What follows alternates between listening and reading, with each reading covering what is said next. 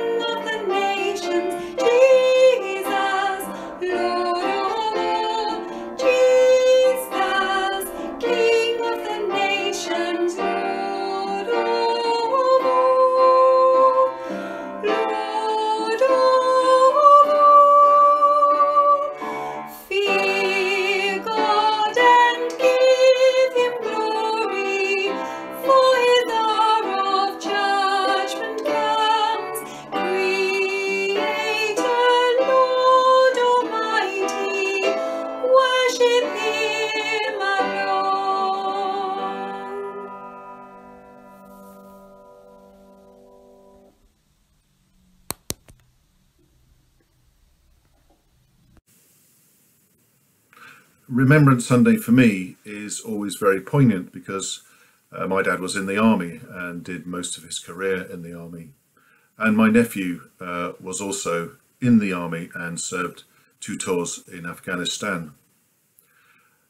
I suppose my earliest memory is uh, in London as a small child and in fact we'd gone up to see my dad in hospital, he'd had an operation in the army hospital there and we but we also visited the gardens at Westminster Abbey where people had put uh, small crosses, small wooden crosses uh, with poppies on uh, to remember those that they loved who they'd lost, uh, particularly, of course, in the last two great wars. Uh, great is a misnomer, but wide-scaled scale wars. I think coming from an army family as well, um, I have a lot of sympathy with those who uh, do serve in our, for, our, armed forces. And so this day, for me, is, is a special day to remember those who've laid down their lives for us. And I'm always reminded of Jesus' words in John 15, verse 13.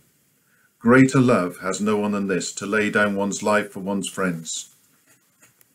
And of course, our forces, um, be they in the first, second, or wars since, have gone to establish freedoms, firstly for us in this country from an oppressive regime, but also been involved in other conflicts to um, release others from oppressive regimes. Of course, it always doesn't. It doesn't always work out, as we know. So that we're now going to a, a small act of remembrance uh, where we can have a moment of silence and uh, say the words, of course, that will be said right across our country today.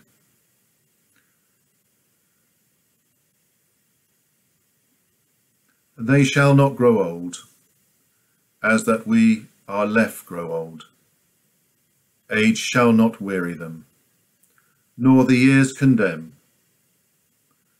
at the going down of the sun, and in the morning, we will remember them.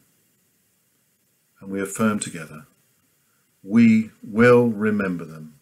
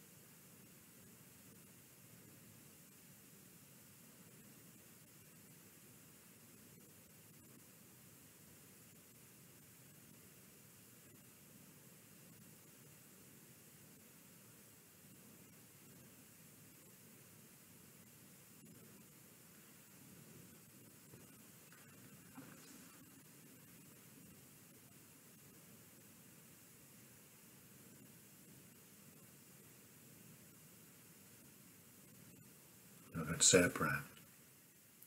Ever living God, we remember those whom you have gathered from the storm of war into the peace of your presence.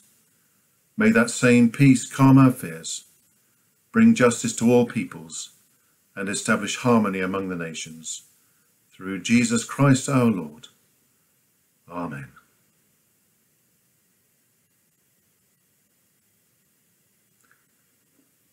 And of course, we remember our own part um, in conflict, be it uh, national or indeed local or in our own lives.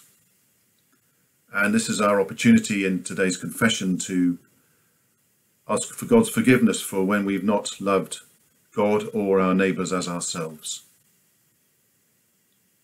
We say together, Most merciful God, Father our Lord Jesus Christ, we confess that we have sinned in thought, word, and deed.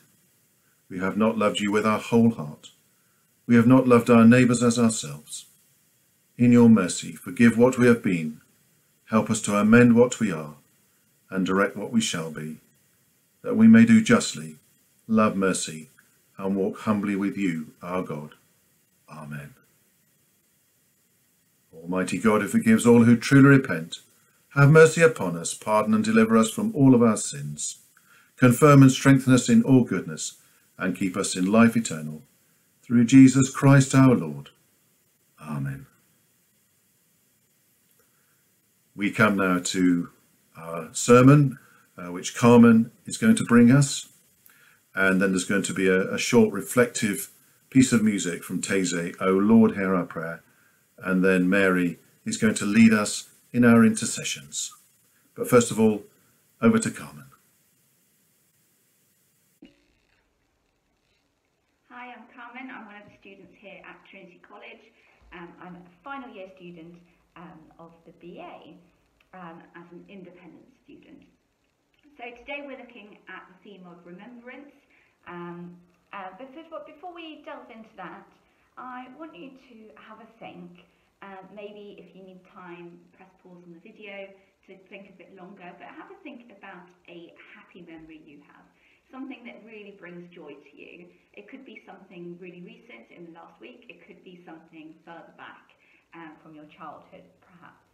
Um, have a think, press pause, um, and when you're ready, press play again and we'll move on.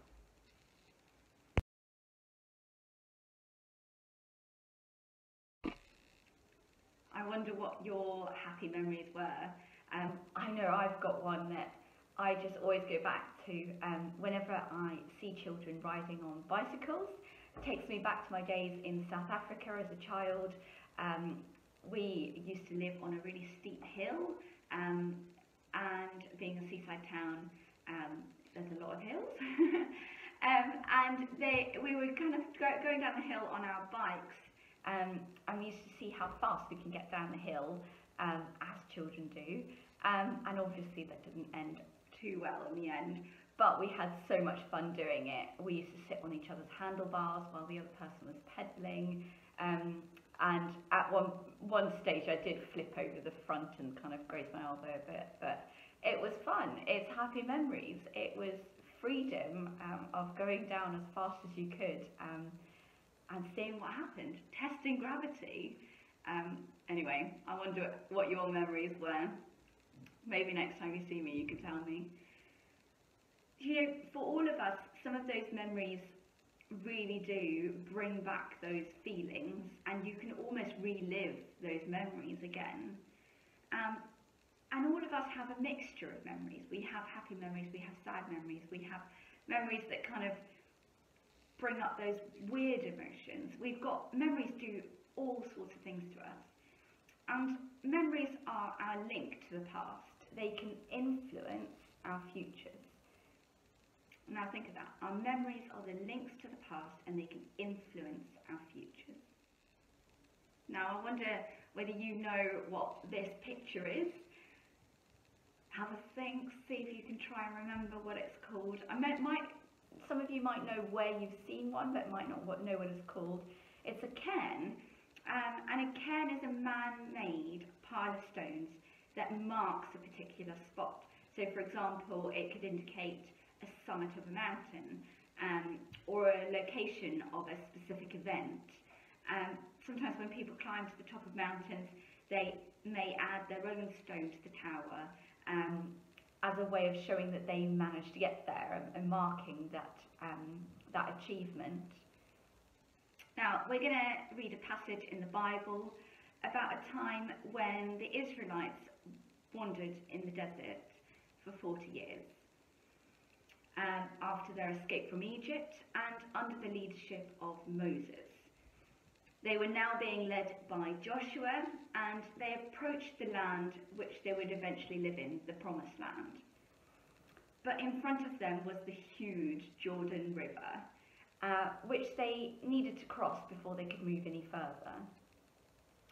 Um, and we see in the passage that the priests carried the Ark of the Covenant into the river and the water from upstream stopped flowing.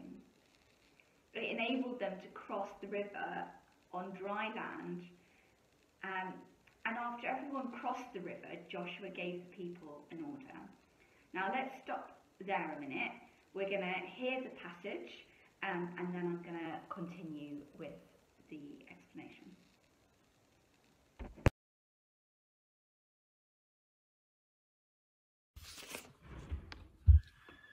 The reading this morning is from Joshua chapter 3, starting at verse 1 and finishing at chapter 4, verse 9.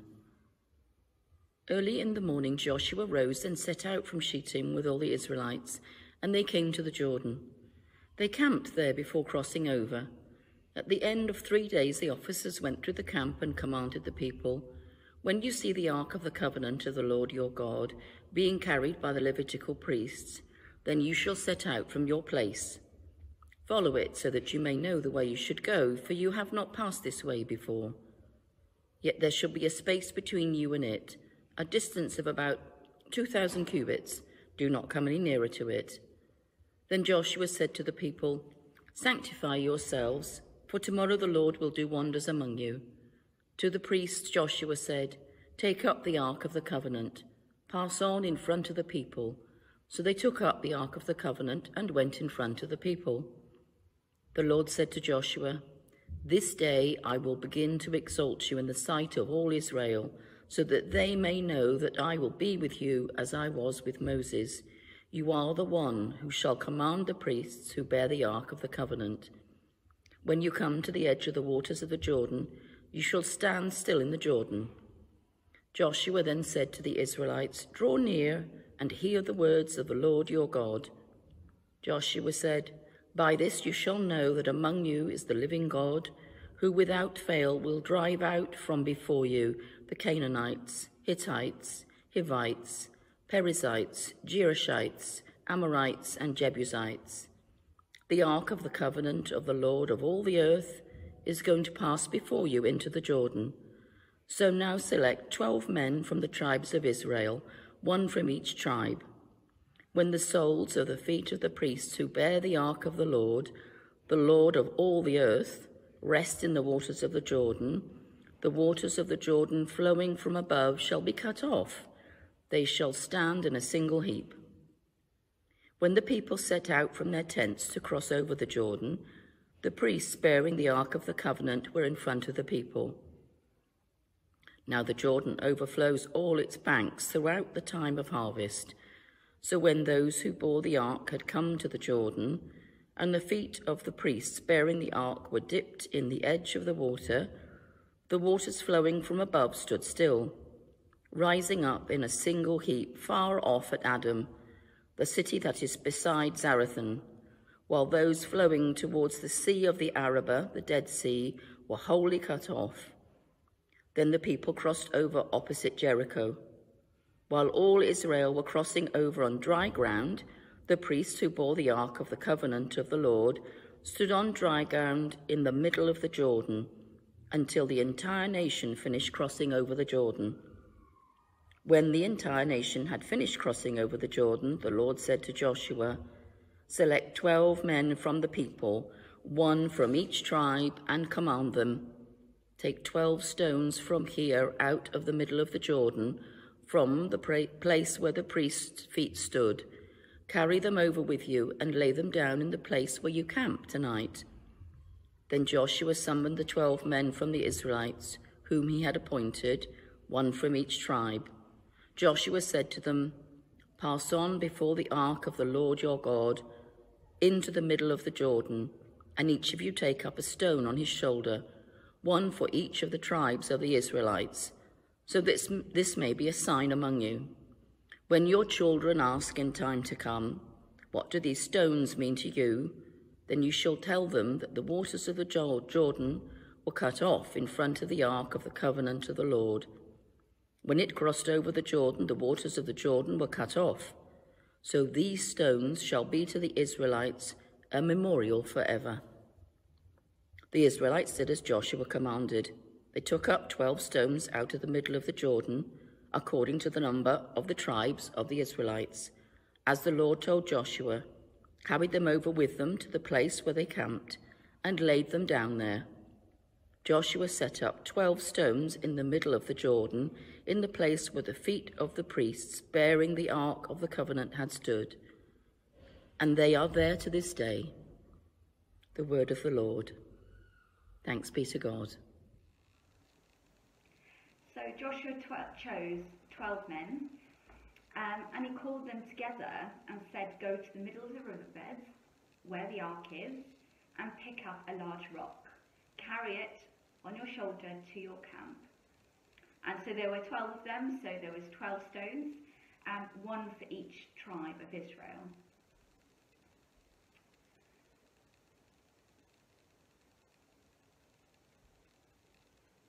And he said, someday your children will ask you, where did these rocks appear from? Why are they here? And you can tell them that the water stopped flowing when the chest was being carried across the river. And these rocks will always remind people of what happened here today. The men followed the instructions uh, that God gave to Joshua, and they picked up 12 rocks, one for each tribe, and they carried them to the camp where they put them down, and they built a cairn like we see, saw in that picture. Joshua wanted the people to remember this moment that God had miraculously helped them cross this river. He wanted them to remember all that God had done for them, taken them out of Egypt, brought them this far, and is now removing barriers like rivers so that they can get to the promised land. The stones were something strong and permanent that would remind future generations of what had happened. Now, November for us is a good time to talk about memories because the 11th of November is Remembrance Day. And this is the day when we remember all the people who fought in the First and Second World Wars and the more recent wars and conflicts that are going on still today. Many people have died and been injured or live still with the consequences of war. Many still live with war-stricken areas today. We think of Pakistan at the moment. We wear poppies at this time of year as a sign of remembrance, lest we forget. These are our cairns to remember those moments, to remember those people who sacrificed for us. So we all have good and bad memories. Many people have bad memories of wars and battles that have been fought. However, alongside the sad memories are happy memories of brave soldiers' actions that helped bring the end to many wars. Little stories of blessing where soldiers have saved children and um, villages. And we can, we can always find those glimmers of hope in those stories. Their bravery leads us to be able to have this safe life that we have. We don't have to be scared where we live because we know that we are safe because we're not in war. John Maxwell Edmonds was a poet who was alive at the time of the First World War. And he was most famous as the author of the words that appear on many of the war monuments. And they go, When you go home, tell them of us and say, For tomorrow these gave their today. Let's think about that again. When you go home, tell them of us and say, For your tomorrows these gave their today. I've got a bit of a challenge for us to go into this week with. I'd like us to go into the week and spend some time with God thinking about the things that He's done in our lives today and in the past, where He was there blessing and there carrying us through the tough times. Remind ourselves of God's faithfulness in our lives this week. What, where are the moments where you can see God has been faithful? It's easy to remember all of the good times, like we did at the beginning, and maybe block out the bad sometimes. But it can also be really helpful to take time to sit in that sadness with God and remember his faithfulness in all of it. Remember those bad times, remember those sad times, and remember that he is with you, and remember he was carrying you through that. And he still is. Should we pray? Oh God, thank you for all the memories that we have talked about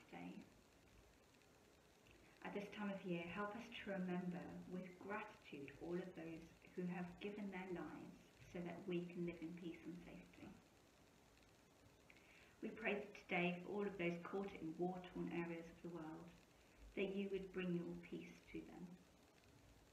We pray that as we go into this week, you would remind us of your faithfulness in our lives. Amen. Thank you guys, and see you again.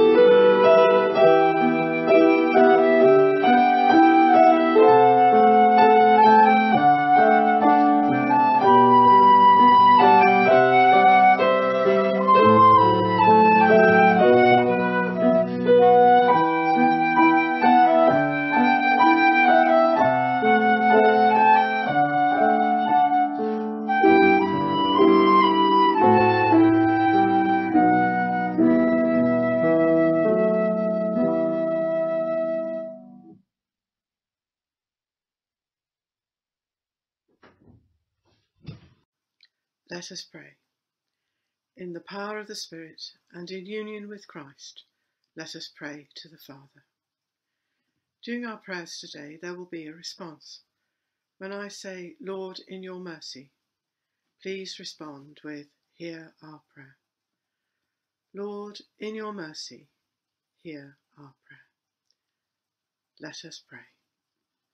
Today is Remembrance Sunday the day when, as a nation, we remember all those who made great sacrifices in wartime around the world in the cause of freedom, in the two major wars of the 20th century and countless other conflicts since. Not just those who lost their lives and the families who mourn them, but all those whose lives after war were and are a struggle of pain, ill health, both physical and mental, and difficulty in rejoining civilian life.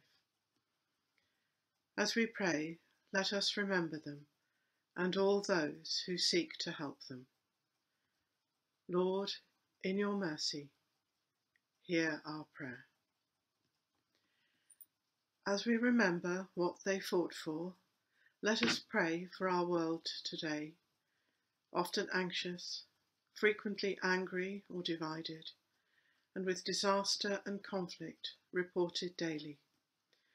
Asking for God's peace in places of conflict, His wisdom in the minds and actions of the governments of the nations, and His love in the hearts of people everywhere. Places of conflict and disaster often leave our news long before any resolution of the problems. Let us remember them in prayer. Places like Afghanistan, where even a long standing, experienced journalist reports on the verge of tears, and where the people are suffering and frightened. Lord, in your mercy, hear our prayer.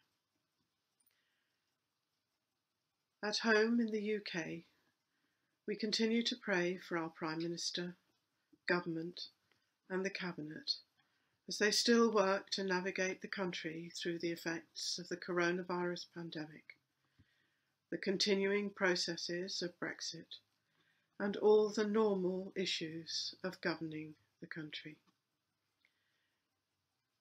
Lord, we pray that they may do this honestly and with integrity, and with wisdom, clear minds, and compassion, and for the good of all people in this country. Lord, in your mercy, hear our prayer.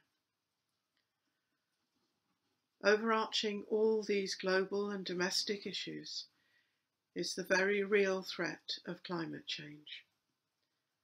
COP26 has just drawn to a close.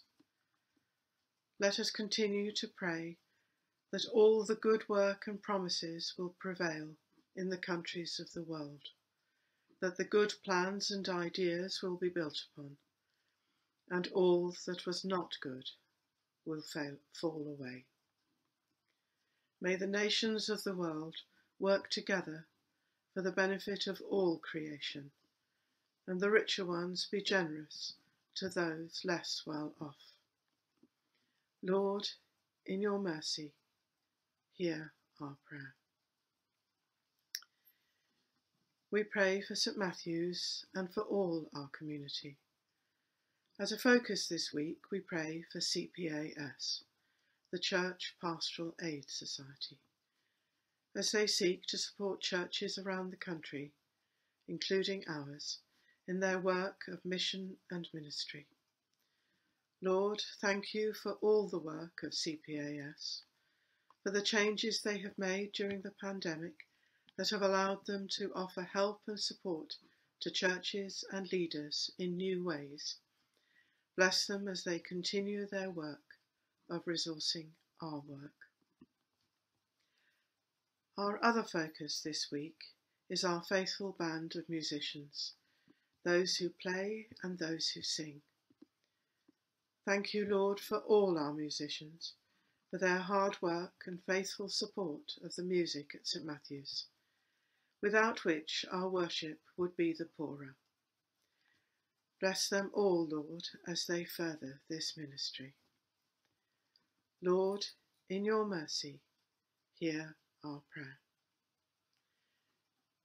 In our reading today, Joshua reminds the people that God is with them in their endeavours, that he goes before them, visible in the form of the ark, which was so precious to them.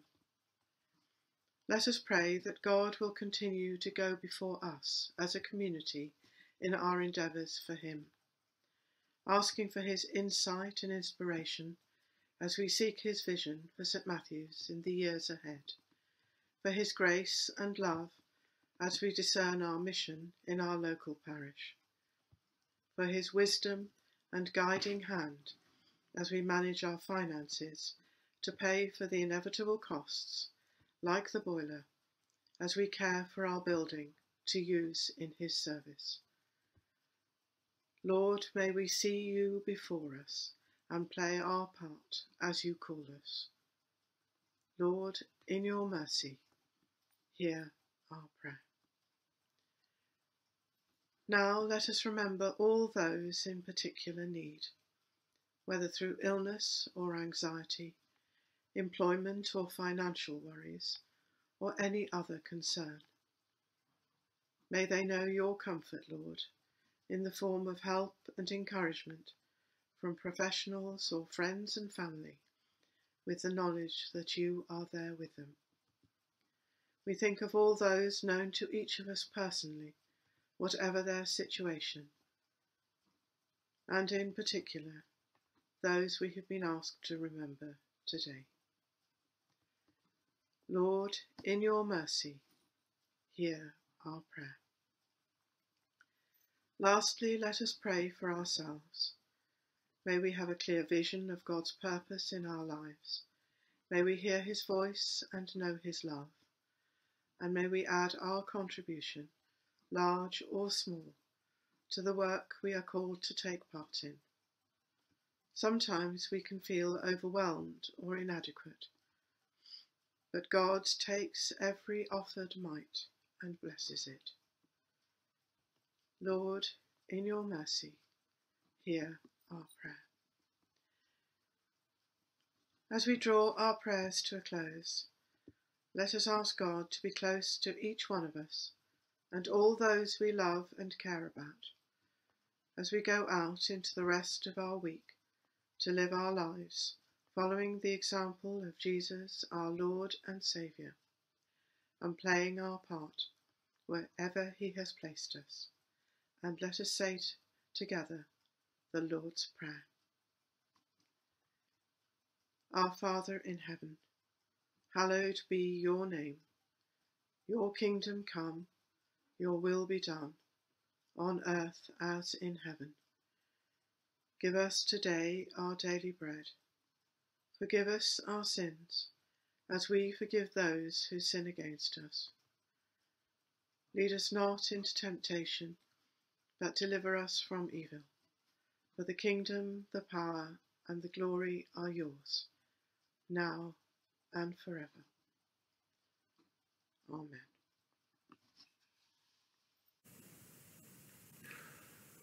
I very much hope that you've enjoyed and found today's service helpful. And in a moment, we're going to hear a song uh, sung by Aidan called King of, King of My Heart, which is a reminder that Jesus is not only King of the nations, but also King in our hearts too. And so I'm going to end with a blessing. Now may the God of peace himself give you peace at all times in every way and the Lord be with you all. And the blessing of God Almighty, the Father, the Son, and the Holy Spirit be with you now and those you love, now and forevermore. Amen. God bless.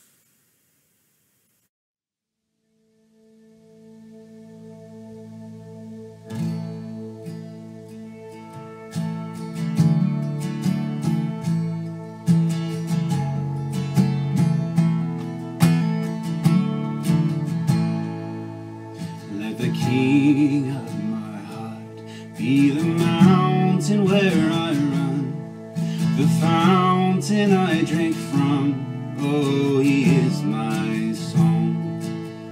Let the King of my heart be the shadow where I hide, the ransom for my life. Oh, he is my song, and you are good,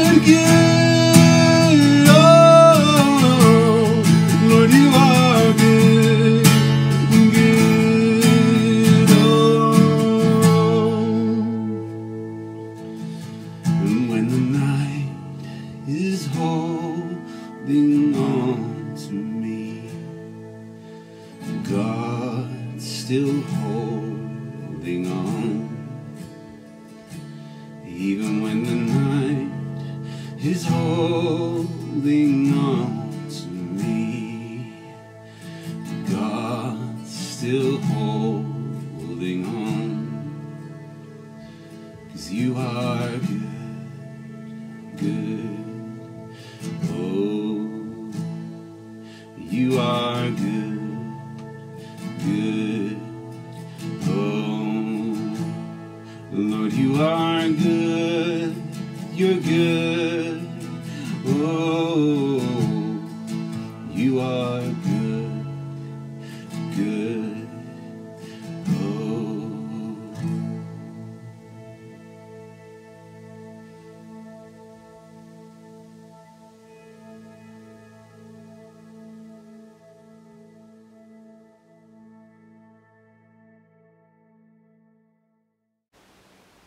Matthew's is a church in Kingsdown in Bristol, and we love this city. We love the people of this city, and we want to connect with you, especially if this is your first time joining us at church.